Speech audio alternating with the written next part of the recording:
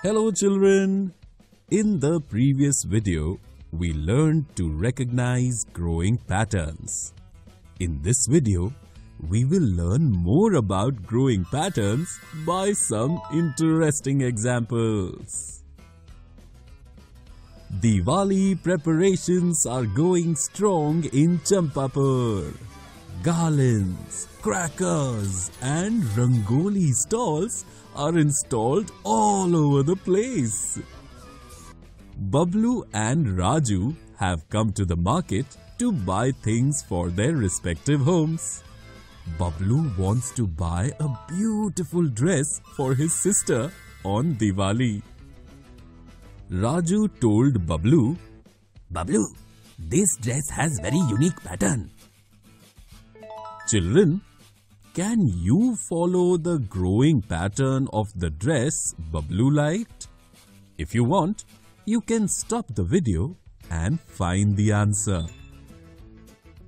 Here, Bablu liked the unique growing pattern of flowers in the dress.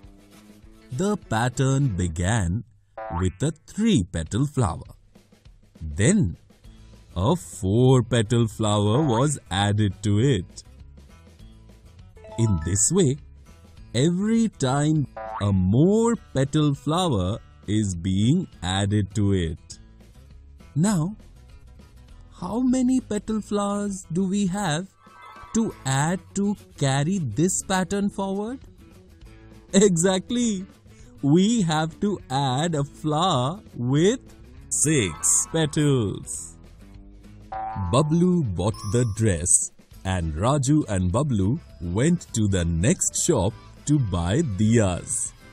This time, different types of diyas are available in the market. Raju saw one of those decorations made from diyas and liked it very much. Bablu drew Raju's attention this time and said, Look, Raju, this has a unique growing pattern even in the decoration made in your diyas. Children, can you recognize the rule of growing patterns made of Raju's diyas and carry it forward? Well done, children. Your answer is absolutely correct. Here, Every line of diyas has two times the diyas from its earlier line. Thus, how many diyas will be in the next line of this growing pattern? 16 diyas. Raju bought the decoration of the diyas. Now, Raju and Bablu have come to Appu's shop to buy sweets. Such a beautiful rangoli is made in front of Appu's shop.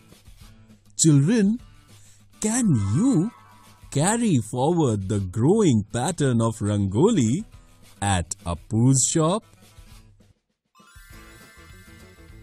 You have carried forward this growing pattern perfectly. Children, in this video, we learned more about growing patterns by some interesting examples.